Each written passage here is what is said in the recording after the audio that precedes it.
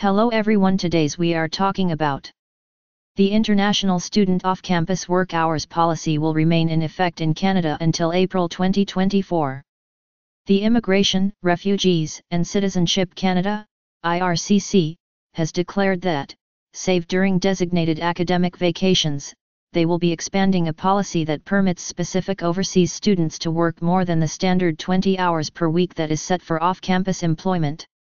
Canada's Immigration Service introduced a temporary regulation in 2022 that permitted certain overseas students to seek full-time, 40 hours per week, job off-campus in response to the country's increasing labor shortages. Prior to the news made yesterday, this interim policy, which went into effect on November 15, 2022, was scheduled to end on December 31 of this year. However, this interim regulation has been extended till April 30, 2024, as per the declaration made yesterday. Note, IRCC only permitted foreign students to work off-campus throughout the academic year for a maximum of 20 hours per week prior to this new regulation going into effect in late 2022. Under the existing policy of the IRCC, international students have always been permitted to work full-time during regular academic vacations, reading week, winter break, etc. This indicates that until December 7, 2023, international students already in Canada, as well as applicants who have already submitted a study permit application as of that date, will be able to work off campus more than 20 hours per week. This is in line with the news made yesterday. What does this entail for Canadian international students who meet the requirements? Even while the IRCC's decision does not make the program permanent as many international students had anticipated, many of them will still benefit from it across Canada. This is due to the fact that being able to work longer hours relieves foreign students of the financial load. Being able to work full-time allows us to get more money and not have that financial burden, or worry so much about money, as one foreign student from Ecuador put it in a November CBC report.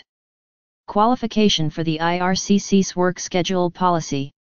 Only a certain kind of overseas students can work longer than the typical off-campus job cap. In order for an overseas student to work more than 20 hours per week, they need to 1. Attend classes in person at their Canadian post-secondary institution, rather than virtually from overseas. 2. Have their study permit contain an off-campus job permission clause.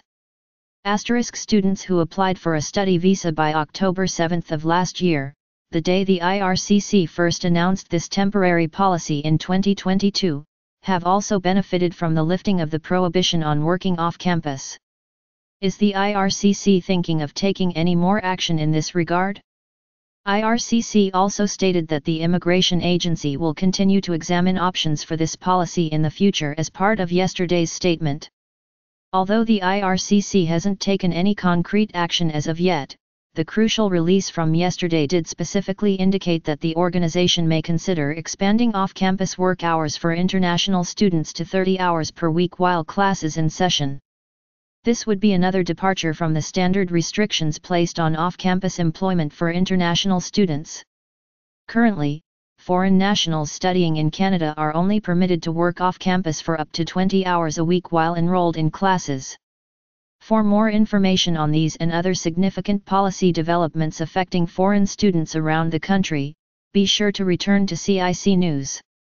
The country's dedication to creating a welcoming and inclusive atmosphere is demonstrated by the decision to extend off campus work hours until April 2024 demonstrating Canada's continued emphasis on the welfare and professional advancement of its foreign student community. This approach helps international students integrate more fully into Canadian society and improves their educational experience overall. Looking ahead, this extension has the potential to significantly influence the paths and goals of a great number of students who have selected Canada as their place of study.